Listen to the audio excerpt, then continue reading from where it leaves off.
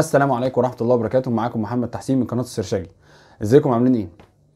آه فأحيانا وانت بتعمل دايت ولو مثلا لو دايت قارس شوية بتحس مثلا بدوخة بتحس إن أنت هبطان كده هبوط عندك ضغط دم عندك عالي تحس بضربات قلبك على طول آه، يعني قوية وعلى طول بتحس بضربات قلبك كده أنت حاطط إيدك على قلبك. الأخطاء دي على طول بتبقى عند الناس المبتدئة في الدايت اللي هي للأسف مش عندها المعلومة كاملة عن الدايت. وليكن انت بتمشي مثلا على دايت الكيتو أو ال DASH diet أو في 500 نوع دايت. في بقى دايت ناس بقت تسميه باساميها يعني دايت كابتن معرفش إيه دايت أستاذة إيه أو دايت كابتنة مين. آه، أحيانا الدايتات دي أو الدايتات دي أنا بقول دايتات. الدايتات دي بتبقى ممكن ممكن يبقى فيها نقص كده عامل وحيد. العامل ده هو ده اللي بيخليك تدوخ وبيخليك يحصل لك هبوط. تتخيل إيه العامل ده؟ الملح. الملح ممكن يتسبب إنك يحصل فيك يحصل عندك هبوط. يحصل إن ضربات القلب عندك تعلى. يحصل إن أنت تحس بدوخة أثناء الدايت. أنا في مرة جربتها يا جماعة قعدت يوم كامل من غير ما آكل حاجة. يوم قعدت أشرب مية كاملة. اليوم ده لقيت نفسي عمال دماغي دي آه، بتتقل وبتوجعني قوي ودماغي وجعاني وهبطان وعلى طول وجعاني فلما جيت أدور عن الموضوع ده لقيت بالصدفة كده واحد على اليوتيوب على فكرة يا جماعة اليوتيوب ده موسوعة كاملة فعلا فعلا مفيدة جدا في كل حاجة.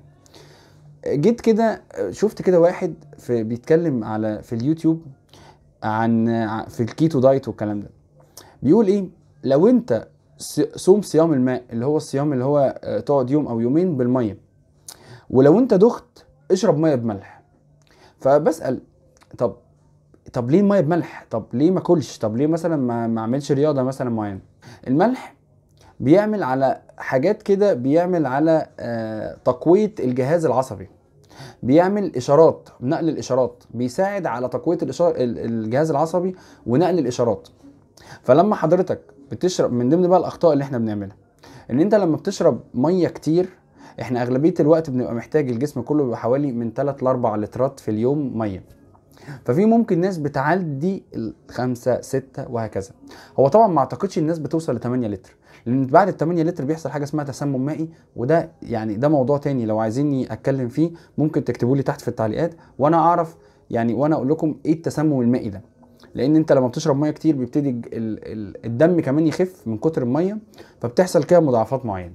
المهم لما حضرتك بتشرب مية كتير ويعني بتشرب مية بكترة عن المعتاد بتاعنا بتن... بت... بتنزل الأملاح اللي في الجسم وبتنزل مادة قوية جدا في الأملاح اسمها الصوديوم.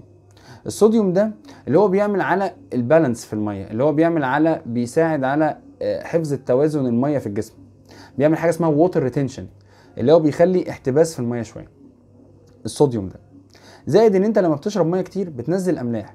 فالأملاح دي كانت زي ما إحنا قلنا في الشوية إن هي بتساعد على نقل الإشارات العصبية وبتقوي الجهاز العصبي. فأنت كده بتقلي بتخلي الجهاز العصبي خملان. فبتحس بوجع وصداع وبتحس بدوخة.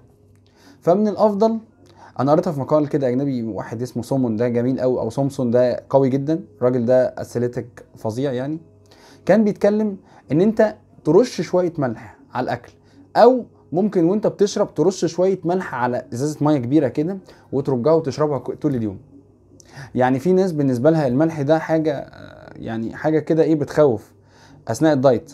لا إحنا بنتكلم الملح ساعات مش كتره بس أنت ليك من 1400 2400 ل 3 ل 3000 مللي جرام في الملح. يعني حوالي رشة ملح كده بسيطة على الأكل.